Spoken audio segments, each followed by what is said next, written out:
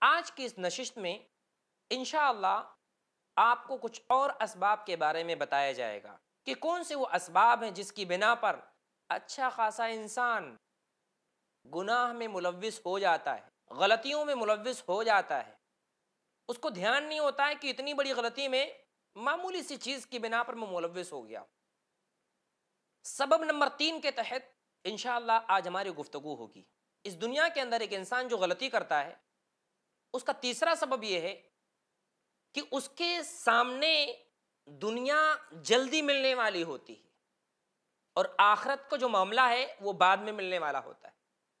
اس کی وجہ سے بندہ جلد بازی کے خاطر جلد ملنے والی چیز کے پیچھے پڑ کر اپنے آپ کو گناہوں میں ملوث کر لیتا ہے۔ اللہ کا نافرمان بندہ بن جاتا ہے۔ اللہ کا ناشکرہ بندہ بن جاتا ہے۔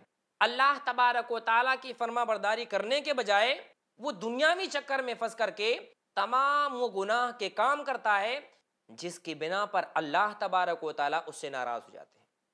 اللہ رب العزت نے قرآن مجید کے اندر اس بات کا تذکرہ کیا ہے۔ اللہ نے بیان فرمایا، کلا بل تحبون العاجلہ۔ ہرگز نہیں، تم جلد ملنے والی کو پسند کرتے ہو۔ مطلب جو چیزیں تمہیں جلدی ملتی ہیں، اس کے پیچھے تم زیادہ بھاگتے ہو۔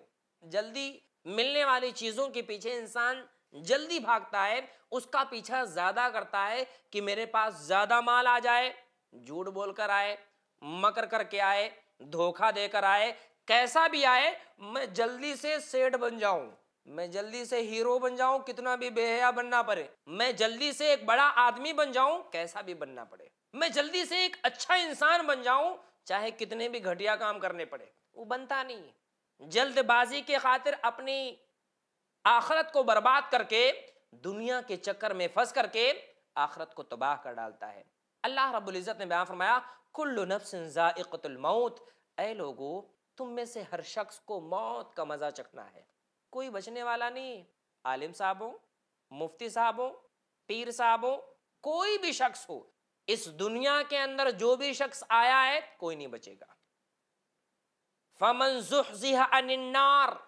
جو آدمی اپنے آپ کو جہنم سے بچا لے یا جو بندہ جہنم سے بچا لیا گیا وہ ادخل الجنہ اور جنتیوں والا کام کر کے اپنے آپ کو جنت میں داخل کر لے گیا۔ فقد فاز۔ ایسا آدمی کامیاب ہے۔ کامیاب کون؟ جو دنیا کے اندر اپنے آپ کو گناہوں سے بچا لے، جہنمی والے کاموں سے بچا لے۔ جتنے وہ کام جس کے ذریعے سے وہ جہنم میں جا سکتا ہے، اس کے ذریعے سے اپنے آپ کو بچا لے، ان کاموں سے بچا لے۔ اللہ اکبر۔ ادخل الجنہ اور ایسے کام کرے جس کے بنا پر وہ جنت میں جا سکتا ہے۔ اللہ نے کہا، ایسا آدمی کامیاب ہے۔ آج کے دور میں ایسے شخص کو کامیاب نہیں مانا جاتا ہے۔ ایک نمبر کا بے حیا انسان، اس کو لوگ ہیرو مانتے لیکن جو بیچارہ اچھا کام کرنے والا ہوتا ہے، جو بہتر کام کرنے والا ہوتا ہے، جو تھوڑا داڑھی واڑی رکھنے والا ہوتا ہے، جو بہن حجاب میں ہوتی ہیں، اس کو اچھا نہیں بولتے تو پچھڑے ہوئے لوگ ہیں۔ اللہ نے کہا، نہیں، اچھے لوگ وہ ہیں جو اپنے آپ کو غلطیوں سے بچا کر کے، گناہوں سے بچا کر کے اللہ کے راستے پر لگا دے۔ وَمَا الْحَيَاةُ الدُّنْيَا إِلَّا مَتَاءُ الْغُرُورِ۔ دنیا کی زندگی کیا ہے؟ دنیا کی زندگی ایک دھوکہ ہے، بہت بڑا دھوکہ ہے۔ مل بھی جائے تو بھی ٹینشن، نہ ملے تو بھی ٹینشن۔ واللہ، ایک آدمی کو دنیا مل بھی گئی۔ گناہ کر کے گھٹیا کام کر، مل گئی۔ اب ہمیشہ نہیں رہنا ہے۔ حضرت، چلیے، آپ کا ٹکٹ آ گیا ہے۔ اور بغیر بتائے ہوئے ٹکٹ آیا ہے۔ کیونکہ فرشتہ جب آتا ہے تو پوچھتا نہیں ہے کہ حضرت، میں آپ کا اپوائنٹمنٹ لے کر کے کل آپ کی جان نکالنے آ رہا ہوں۔ ایسا نہیں ہوتا ہے۔ نہیں بتاتا ہے۔ اچانک آپ ٹرین میں بیٹھے، اٹیک آیا، ختم۔ آپ بائک چلا رہے تھے ایکسیڈنٹ ہوا، ختم، کبھی بھی آپ کی موت آ سکتی۔ دنیا کی زندگی دھوکا ہے۔ آپ سونے کا محل بنا لیں۔ آپ بڑے سے بڑے مالدار بن جائیں۔ دنیا چھوڑ کر کے آپ کو جانا ہے۔ آپ اس دنیا کے چکر میں پڑ کر کے گناہ میں ملوث ہو جاتے ہیں۔ کتنے شرم کی بات ہے۔ کتنے شرم کی بات ہے۔ وہ مل حیات دنیا اللہ متا الغرور۔ دنیا کی زندگی دھوکا ہے۔ اتنا بڑا دھوکا ہے۔ کہ اچھے اچھے لوگ اس دنیا کے اندر بڑے بڑے پیسے والے تھے۔ قارون خزانے والا تھا۔ خزانے سمیت زمین میں دزا دیا گیا۔ دزایا گیا؟ ناظرین، غور کریں آپ کہ اتنے بڑے فتنے میں پڑھ کر کے، انسان گناہ کے کام کو کر کے آخرت اپنی تباہ کر ڈالتا ہے، اپنی آخرت کو برباد کر دیتا ہے۔ وہ سوچتا ہے کہ دنیا میں میں جلدی مالدار بن جاؤں گا۔ دنیا میں جلدی لوگ مجھے سیٹ کہیں گے۔ حالانکہ ہوتا ہی نہیں ایسا۔ کچھ لوگوں کو مل بھی جاتا ہے کچھ لوگوں کو نہیں بھی ملتا ہے۔ کچھ لوگوں کو مل جاتا ہے۔ دنیا ملتی ہے مگر ہمیشہ نہیں رہ پاتے۔ کچھ لوگوں کو نہیں ملتا ہے، پوری زندگی تباہ و برباد کر کے دنیا سے چلے جاتے۔ اس لیے گناہ کرنے میں ایک تیسرا سبب جو لوگوں کے درمیان ہوتا ہے وہ یہ کہ بھائی زندگی چار دن کی ہے۔ عیش کر لو، موج کر لو، پتہ نہیں زندگی ملے یا نہ ملے۔ اس لیے لوگ کیا کرتے ہیں؟ جوانی خوب گناہوں میں گزاریں گے۔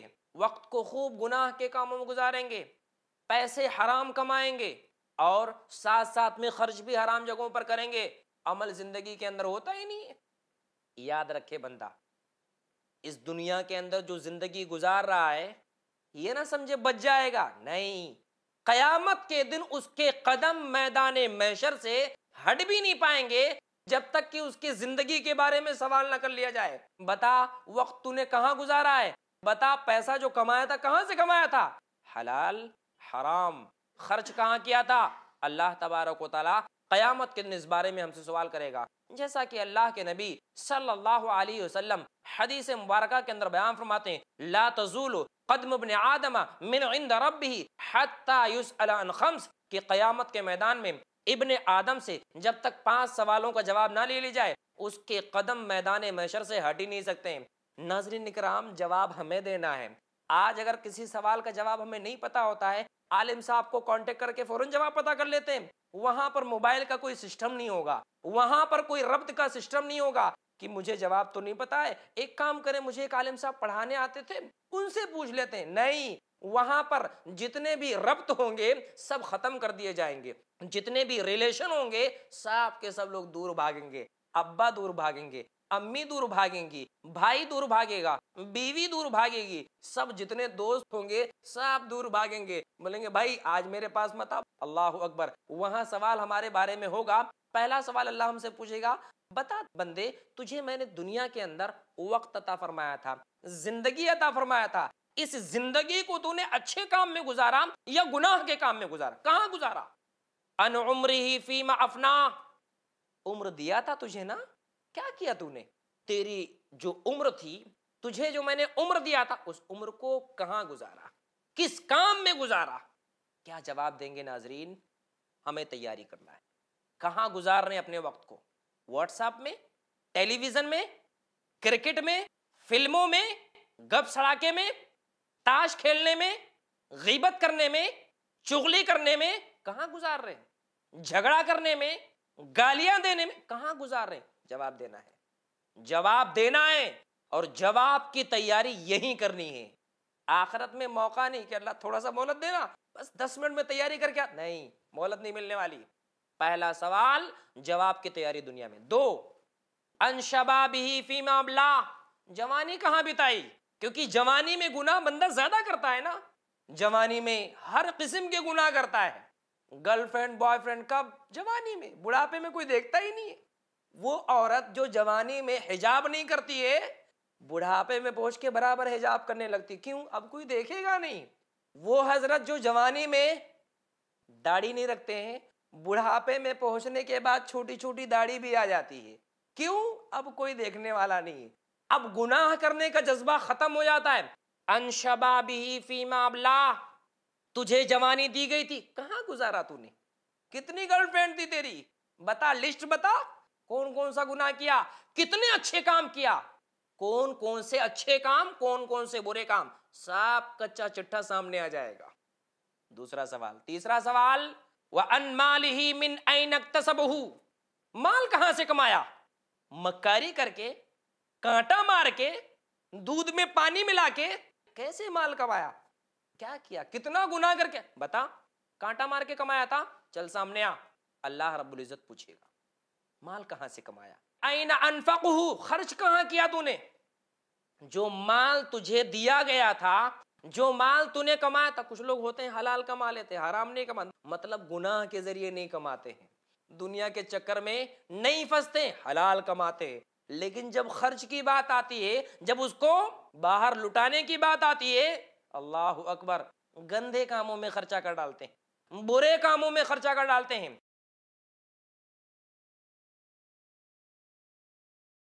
آج اپنے امت کا اگر ہم جائزہ لیں، ناظرین کرام، اپنے گھر میں اگر آپ دیکھیں، مہینے کا کتنا خرچہ ہوگا؟ ہر شخص کے ہاتھ میں موبائل ہے، ساتھ ساتھ میں کئی سارے ہمارے ایسے ناظرین بھی ہو سکتے ہیں، جن کی اسموکنگ کی عادت ہے۔ آپ غور کریں، خرچہ کہاں ہو رہا ہے؟ مہینے میں اگر آپ سوچ لیں، ایک دن میں ایک سگریٹ پیتے ہیں اور ایک سگریٹ کا سمجھ لیں پانچ روپیہ ہے تو مہینے کے اعتبار سے آپ کا کتنا روپیہ ہوگا؟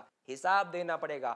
بچ نہیں سکتے! کہ اللہ کو بولوں گا اللہ کیا کروں بہت بھول ہو گئی تھی نہیں وہاں کسی قسم کا ایکسکیوز اللہ تبارک و تعالیٰ قبول نہیں کرے گا خرچ کہاں کیا بتا سب حساب مینٹین ہوگا سب ٹیلی کر کے سامنے رکھا جائے گا یہ حضرت تھے دو سو روپے مہینے کے اندر اپنے موبائل کا ریچارج کراتے تھے گرل فرینڈ سے بات کرنے کے لیے یہ صرف انٹرنیٹ ریچارج ہے بات کرنے کے لیے الگ اسموکنگ میں الگ گھمانے پھرانے میں الگ اور ٹیلی ویژن دیکھنے میں پانچ سو روپیہ۔ اور جو جمعہ کے دن مسجد میں جاتے تھے، دو روپیہ اس میں جھولے میں ڈالتے تھے۔ اچھا اللہ کے لیے دو روپیہ۔ اور اپنے لیے گناہوں کے لیے ڈیڑھ ہزار، دو ہزار۔ اتنے سارے پیسے۔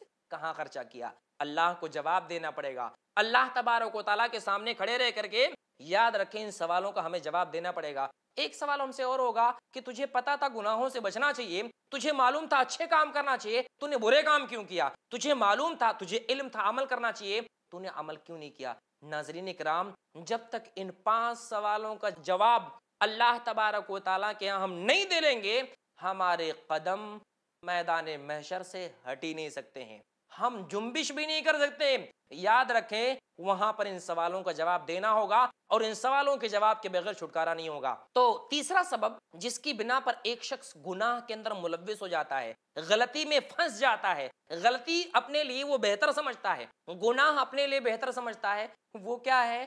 وہ ہے دنیا کی لذت، دنیا کی چاہت، دنیا کی طلب۔ دنیا کے طلب میں پڑھ کر کے کہ دنیا میں بڑی لذت ہے۔ یہیں پر سب مزہ ہے، آخرت میں کچھ مزہ ہی نہیں ہے۔ جبکہ یہ معاملہ اگر کسی انسان کے اندر ہے، یاد رکھے، آخرت میں اس کے لیے تباہی بربادی ہوگی، آخرت میں اس کے لیے نقصان ہوگا۔ تو یہ تیسرا سبب میں نے آپ کے سامنے ذکر کیا کہ لوگ دنیا کے چکر میں پڑھ کے، دنیاوی فائدے کے خاطر، دنیاوی لذت کو حاصل کرنے کے لیے، دنیاوی مالو متا حاصل کرنے کے لیے دنیا میں خوش رہنے کے لیے گناہ کر لیتے ہیں۔ یاد رکھیں، گناہ تو کر لیتے ہیں، وہ گناہ لکھا جا چکا ہے۔